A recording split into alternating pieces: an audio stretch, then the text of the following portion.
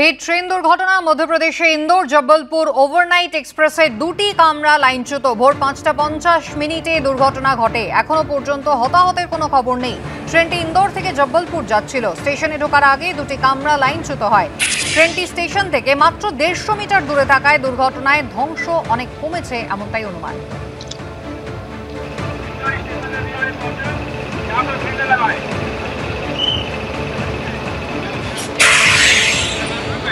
Train দুর্ঘটনা এবার মধ্যপ্রদেশে ইন্দোর জব্বলপুর ওভারনাইট এক্সপ্রেসে দুটি কামরা লাইনচ্যুত হয়ে যায়। ভোর পাঁচটা পঞ্চাশ মিনিটে দুর্ঘটনাটি ঘটে। ট্রেনটি ইন্দোর থেকে জব্বলপুর যাচ্ছিল। স্টেশনে ঢোকার আগে দুটি কামরা লাইনচ্যুত হয়ে যায়। ট্রেনটি স্টেশন থেকে মাত্র দেড়শো মিটার দূরে ছিল। সেই কারণে ক্ষয়ক্ষতির পরিমাণ অনেকটাই কম, এমনটাই অনুমান।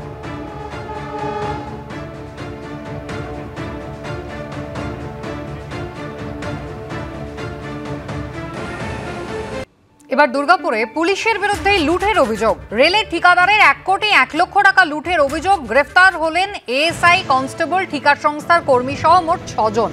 সিসি ফুটেজ দেখে বাকিদের খোঁজে শুরু হয়েছে তল্লাশি। লুঠের টাকা উদ্ধারের চেষ্টা চলছে।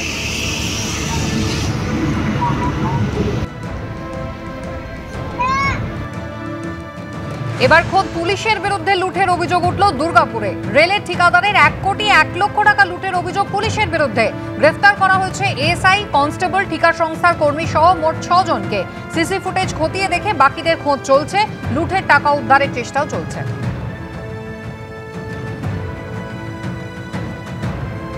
একটা দিল্লির ব্যবসায়ী এখানে এসেছিল। ওর কাছে ও ক্যালকাটা যাচ্ছিল। সঙ্গে ওর গাড়িতে এক কোটি টাকা ও ক্লেম করছে ছিল, এক কোটি, এক লক্ষ টাকা ছিল। ফেক বা অরিজিনাল পুলিশ পার্সোনাল ছিল বুঝতে পারেনি। এরকম ওকে গাড়ি আটকায়ছিল। তো ওখানে আমরা ছজনকে এখন অবধি অ্যারেস্ট করেছি। এই ছজনের মধ্যে ওর পার্টনার বগেরা যে ছিল এখানে যে ওর লোকাল কন্ট্যাক্ট ছিল, ওই দিল্লির ব্যবসায়ীর লোকাল কন্ট্যাক্ট তারাও আছে। এবং আমাদের দুজন পুলিশ পার্সোনাল আছে। একজন তো দুর্গাপুর পিএস এর PSR নাম আরেকজন বললে কে? তার পরিচিতি আরেকজন আর একজন আর একজন আছেন। এখানে এই দুর্গাপুরে পোস্টিং ছিল ওটার। তো সেটা আমরা দেখছি ওনার পোস্টিং সিআইডিতে ছিল তো সেটা আমরা দেখছি ভালো করে কি কি হয়েছে নেই হয়েছে। সাসপেন্ডেড কোনো কর্মী ছিল পুলিশ কর্মী? সাসপেন্ডেড নেই ওটার মধ্যে একজন আমরা জানতে পেরেছি যে একজন ডিসমিসড পার্সোনাল পুলিশ পার্সোনালও ছিল ও অ্যারেস্টেড আছে। এখন অবধি ছজন আছে আরও বাকি এখনও রেড চলছে কন্টিনিউয়াসলি গাড়ি আর টাকা সেই সব আমরা সব রিকভারি করছি। ঠিক আছে ওকে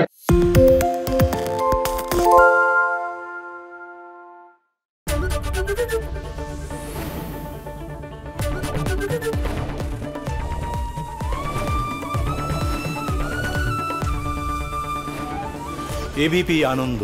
এগিয়ে থাকে এগিয়ে রাখে।